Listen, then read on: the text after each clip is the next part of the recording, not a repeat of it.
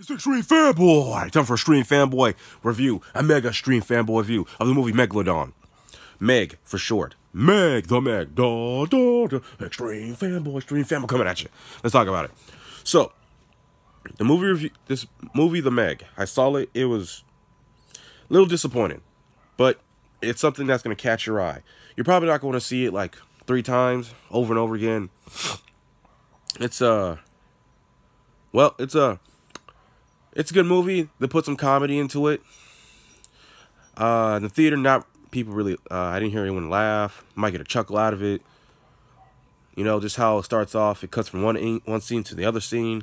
Goes from a serious, chaotic moment, helping people out. Then goes to simple. Then trying to, and the comedy starts creeping through a little bit. You know, go through. The comedy starts setting itself up. Starts going off. You know, you know, with the ridiculous kind of fun character, all these serious people they'll happen to just happy to get their moment to shine, you know, because there's no bum line. This uh, sea carrier place, middle of the ocean, most expensive one ever built. They're course trying to find new life underwater. You got submarines, you got drama. Then, you know, in this movie, you just felt like, you know, let's put it this way. No, I'll just tell you this part. There's a moment in the movie, you know, of course, they doing just some discoveries. It's not really much of a spoiler, just doing some discoveries. It goes from 1 to 30, real bad. Bad. Then it goes from 1 to, then there's a bit of hope. It goes from 1 to, to get some hope to save themselves. There's 1 to 30, goes from 1 to 30 to 31. Movie goes from a lot of, the pace of the movie just changes a lot with the tone and just what they did with the movie. The animation was really good. I really can't complain with the animals in the movie, the ocean, you know, I really can't tell if you CGI or not. There probably was a lot of CGI moments, but if you could, if there was, you couldn't tell it. You know, of course, no Jason Statham. He did a great role. This movie, it was disappointing, but Jason Statham made it work. In fact, there's a giant shark in this movie that's made it stick to it. Made it, saved it. New actors, old actors, and just, yeah, that's, that's how it was.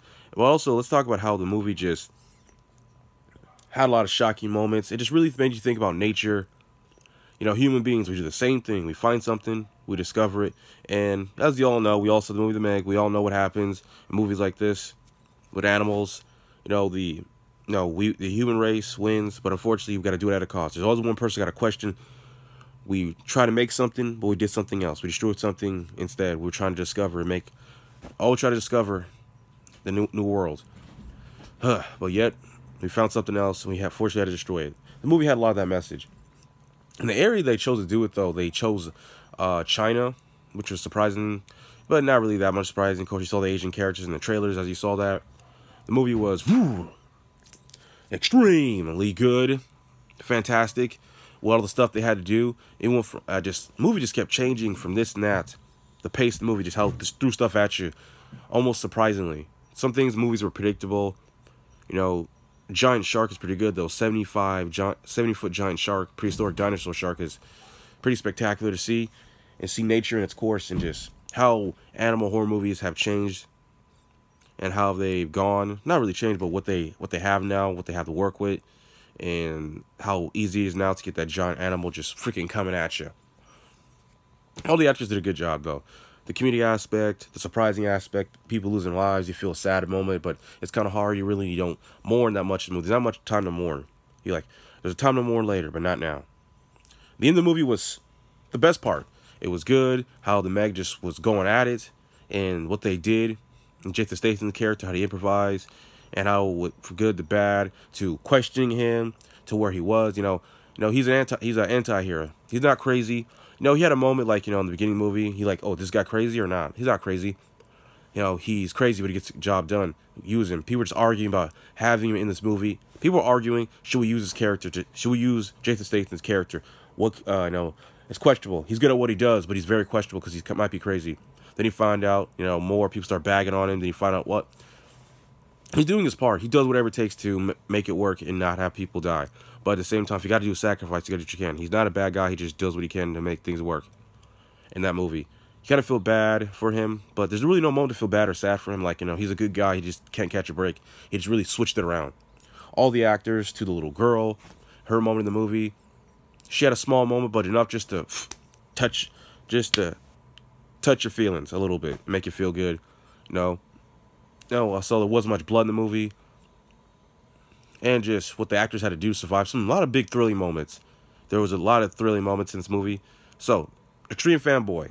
This is my final review. A 1 out of 10, I'll give it a 9. But uh, from the Extreme Fanboy review, merchandise, I give it uh, from 1 to 50, I give it 30. Uh, merchandise. That's what I give it. Maybe it's going to be a video game. Uh, you know, good enough to be a video game and maybe get a hat or two. But this really gets you into it. Plus, what other Shark Week, you know, thing going on after Shark Week. It's like Shark Week never ends, like Shark Year. All people care about is sharks Megalodon Discovery Channel. So, I live in the Monterey Bay Aquarium. I'll show you guys a video when I go to the Monterey Bay Aquarium. And yeah, stream Fanboy. Go see the movie The Meg. It's just a little disappointing, but it's not terrible. It's something, it's all right. Enjoy the movie Meg. Only thing that saves is Jason Statham, what the actors did, just in the writing of the movie, in the tone, in the pace. That's what saves it. But really, the the actors, what they did, they did a good job. They're playing the characters. Just the writing could have been better. But the writers didn't do a bad job. Director, he did a good job. The Meg and Jason Statham and what the actors did was the best part, and the pace of the tone how to switch from this to that. Go see go see the movie The Meg. Stream fanboy out. Stream fanboy. Dun, dun, dun, dun. Watch for the jaws. Stream fanboy out.